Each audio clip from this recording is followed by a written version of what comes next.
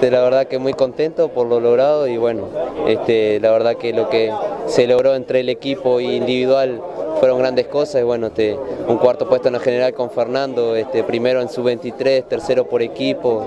eh, tercero en el sprinter, bueno, este, muchas cosas que,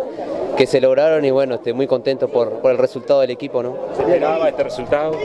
Sí, sí, se esperaba, este, veníamos trabajando todo el año para esto, este, Ruta de América y, y Vuelta del Uruguay eh, en las principales carreras que, que, tenemos en el calendario y bueno, este, trabajamos todo el año para esto y pienso que, que en Vuelta del Uruguay podemos lograr mejores cosas. Bueno, este, sabía que, que logrando un, buen puesto en la general, este, la sub-23 iba a venir sola, como, como lo había dicho. ¿no? Venimos ahí trabajando duro y bueno, hoy peleamos la etapa también faltando 10 kilómetros ahí que me fui con un brasilero y bueno, este, nos agarraron faltando 3, una lástima que, que podríamos haber logrado un, buen puesto en la etapa, pero bueno, este, también contento y agradecerle a toda esta gente que, que apoya acá en el pueblo de Florida, que, es un pueblo chiquito pero con, con, grandes, con grandes personas, este, que este club puede salir adelante y bueno, esperemos que, que el año que viene siga progresando y que, que, este equipo pueda seguir logrando grandes cosas. Sí, este, de la primera etapa, eh, ruta 60 ahí, este, fue impresionante el calor, este, con más de 40 grados casi todas las etapas